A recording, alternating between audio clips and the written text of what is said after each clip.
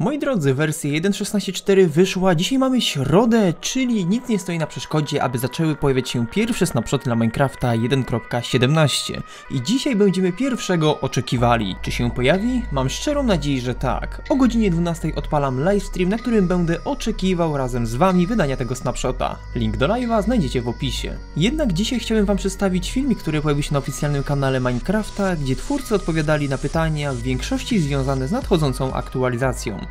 Nie będę tutaj przetaczał wszystkich odpowiedzi na pytania, tylko te najciekawsze. Jeżeli jesteście zainteresowani całością, link do filmiku znajdziecie w opisie. Jeżeli chcecie, aby w przyszłości też takie filmiki się pojawiały, zostawcie łapkę w górę, a teraz zaczynamy!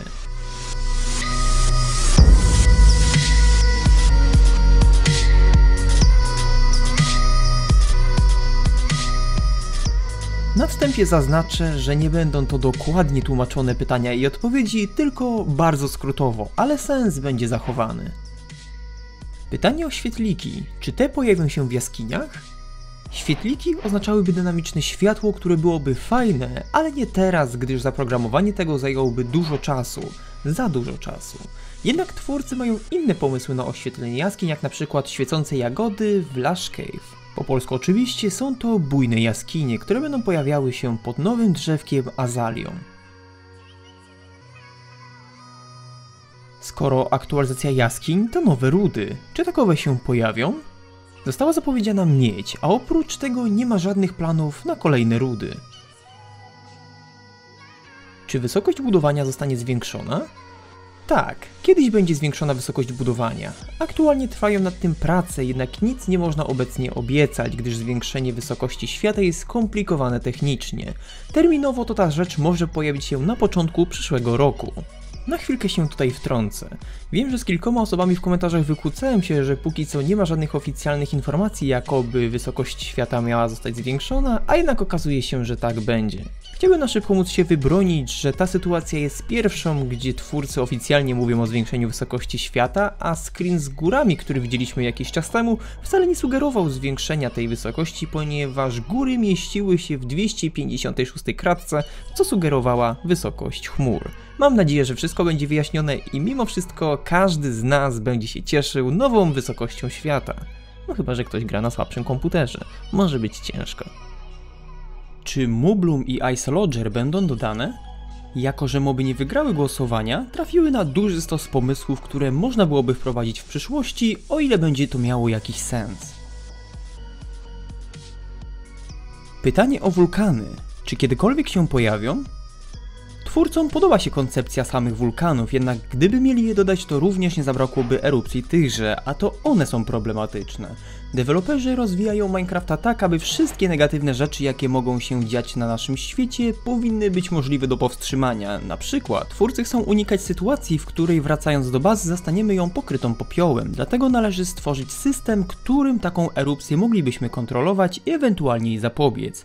Ale może kiedyś? Kwestii struktur podziemnych, czy te będą zaktualizowane w Minecraft 1.17, chodzi tutaj o twierdze, spawnery czy opuszczone kopalnie.